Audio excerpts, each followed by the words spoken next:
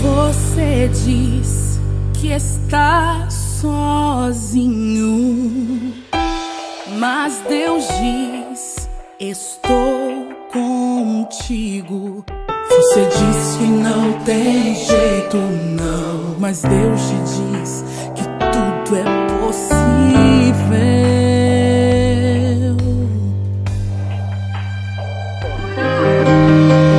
Você diz eu não posso.